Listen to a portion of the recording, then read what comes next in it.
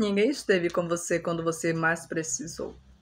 Ninguém te abraçou quando você gritava por socorro.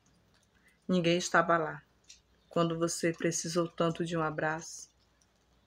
Ninguém para te dizer que você não está só. Ninguém esteve lá para ouvir você dizer que estava doendo demais, que você não aguentava mais. Não tinha ninguém quando você pensou em desistir. E você conseguiu vencer mesmo assim. Você descobriu que não precisa. Não precisa que ninguém, a não ser Deus, esteja com você nos momentos mais difíceis. Você descobriu que tem coisas que você precisa estar só você e Deus e mais ninguém. Você descobriu que você é mais forte do que você imaginava. E que se as pessoas estiverem com você ou não, você sempre será forte. E que só vai estar na tua vida tudo aquilo que te faz bem, que acrescenta.